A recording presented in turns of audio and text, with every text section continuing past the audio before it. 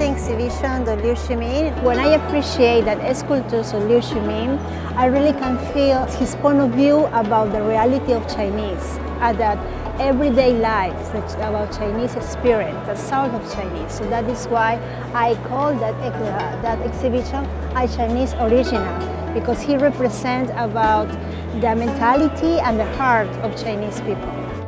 I think it's so great to have this exhibition here in the Oculus, which is one of the most public places in New York City or the world.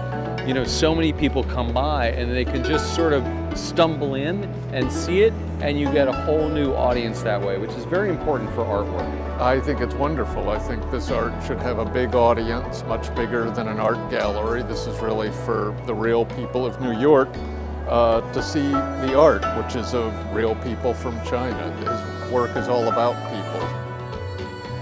This is like the perfect space because there's a lot of light and life and energy here. And that's what you see in his, in his pieces too. You see a lot of energy and you see a lot of life, you see a lot of love, and just people coming together. I like the little child going to the bathroom, standing over the pot. I just thought that was such a great depiction of a natural I like this one because of how realistic it looks. I almost can see the water as I'm looking at this piece here. Well, it speaks to me because I've been in aviation for 40 years. I've always had a fascination since a child with uh, airplanes and things that fly.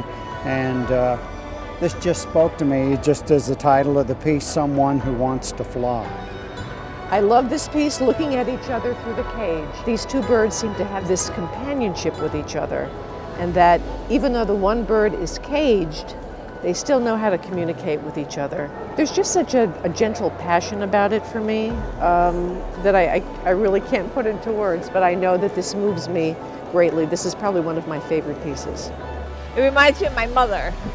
My mother like passed away, so it reminds me of like growing up and looking up and seeing her.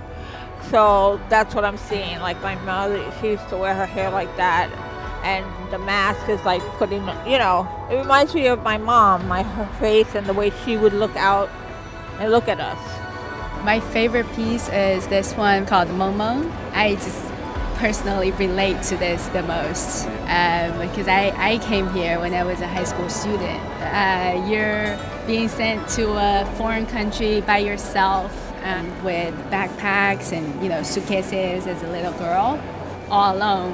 Uh, that just really made me yeah. emotional. 我是一九八零年从台湾来的， 就是近差不多十年来、十几年来就比较多中国的东西。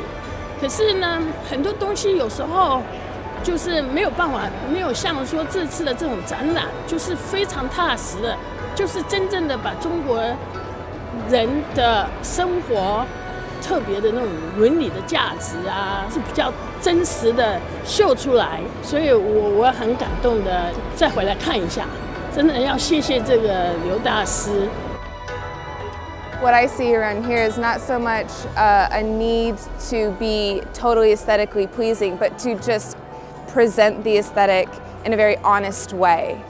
Um, and I feel like the honesty is really what is coming through from what I've seen uh, in this exhibit. I, I, love just coming across things like this and like it enriches us today. I mean, I love it. 那么这种不期而遇，正是我们 将这个展览嵌入到这个空间来的一个重要的一个一个理由。那么让美国人，让纽约市的人，让全世界的人看到中国的一位艺术家，他的作品当中所蕴含的中国人的生活的一个历程，从那个时代所生发出的一种生活的感慨、感悟。说这样的作品，不是我相信，事实上已经被证明了。美国人是能看懂的，他们感觉就在他们身边发生这些事情。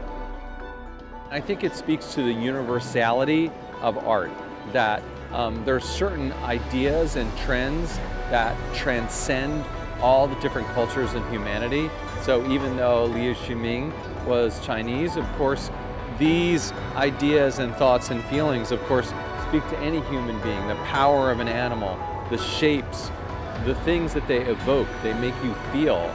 And so while I feel that it's Chinese, there's some Western influence maybe, he was aware of Western art obviously, um, it's something that speaks to all of us.